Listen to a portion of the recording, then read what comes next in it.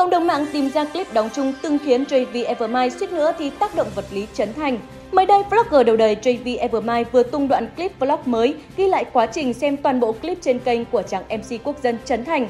Đoạn clip dài gần 13 tiếng chỉ để xem những đoạn clip trên kênh của vợ Harry Won. Không chỉ vậy, anh còn đăng tải đoạn clip chia sẻ về hai lần gặp gỡ Trấn Thành ở ngoài đời.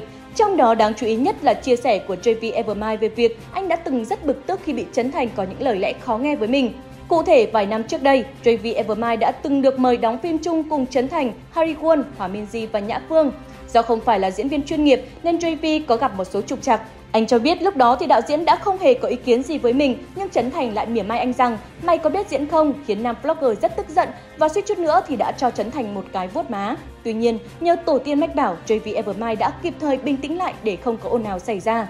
Chia sẻ của JP Evermind đã ngay lập tức nhận được sự chú ý của cộng đồng mạng và một số người đã nhanh chóng tìm ra đoạn clip cả hai từng quay chung. Có lẽ đó cũng chính là khoảnh khắc cặp đôi có những xích mích liên quan đến cách làm việc. Ngoài ra thì JP Evermind cũng đưa ra những luận điểm và chứng cứ để bảo vệ ý kiến của chính mình khi nhận xét về cái tôi của Trấn Thành và những phát ngôn đậm chất đạo lý đến từ Thành Cry.